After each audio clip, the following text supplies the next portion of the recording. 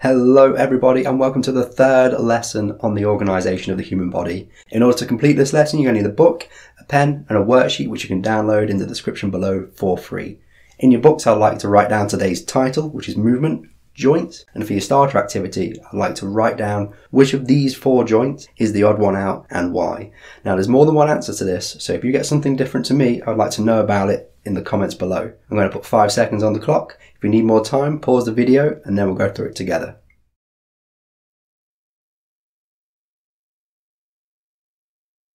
Okay, are we all finished? Well done if you've identified this first one as the elbow joint. This is an example of a hinge joint.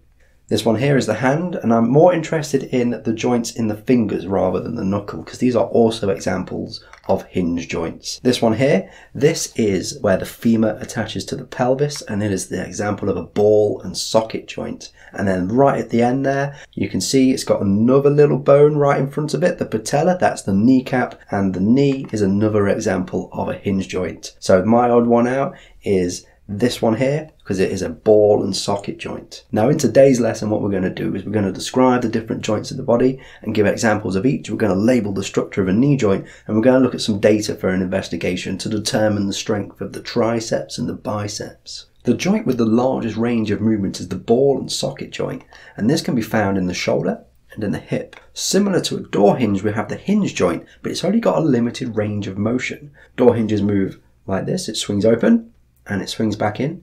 These joints only have the same degree of motion as that hinge, and they can be found in the knee, the elbow, and the fingers. You then have fixed joints, and they have no range of motion, and they're required to hold bones together, and these joints are located on the skull.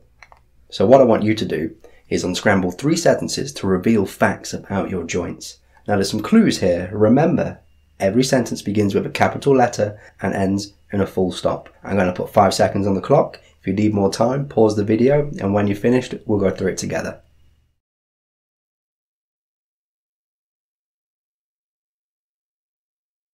Okay, are we finished?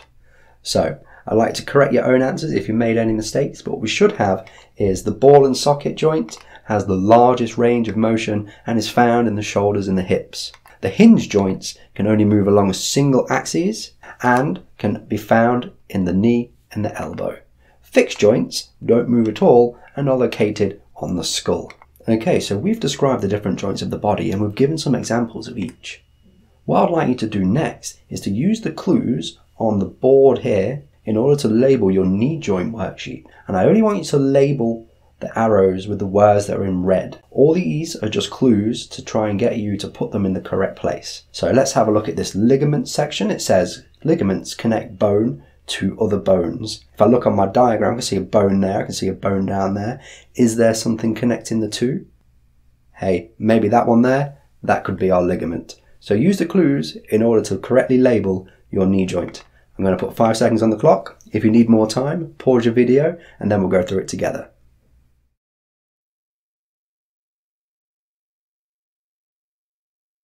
We all done?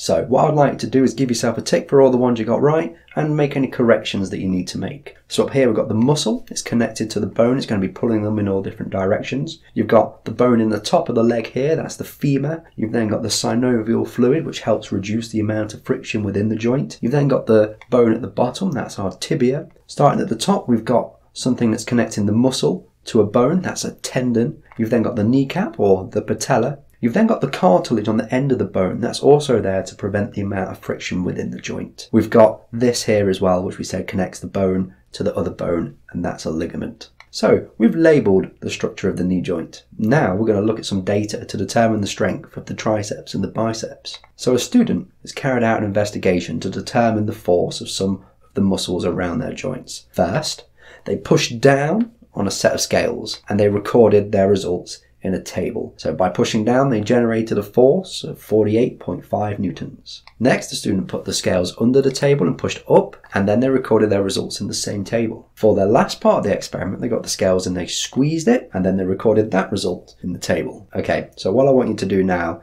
is analyze the results from this investigation. I want you to use the data in the table to complete these three sentences. If you need a bit more of a challenge, I'd also like to know what changes you can make to this investigation to make this data more reliable. I'm going to put five seconds on the clock. If you need more time, pause the video, and when you're finished, we'll go through it together.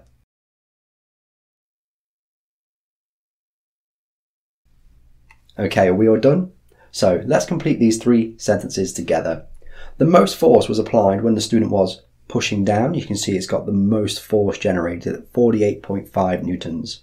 The independent variable, so the thing that we changed, in this case is the muscles that the student was using. The dependent variable, these are the things that we measure. And in this experiment, we measured the force.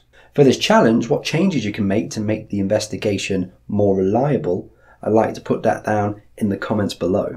Okay, so now we've looked at some data to determine the strength of the triceps when we were pushing down on the scale, the biceps when we were pushing up, and also the muscles of the forearm when we were squeezing.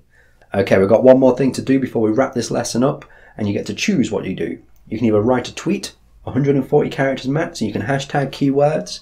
You can write down two correct statements and one incorrect statement about what you've learned today, or you can draw the most important thing that you've learned today. I hope you've had a great lesson, and I'll see you next time.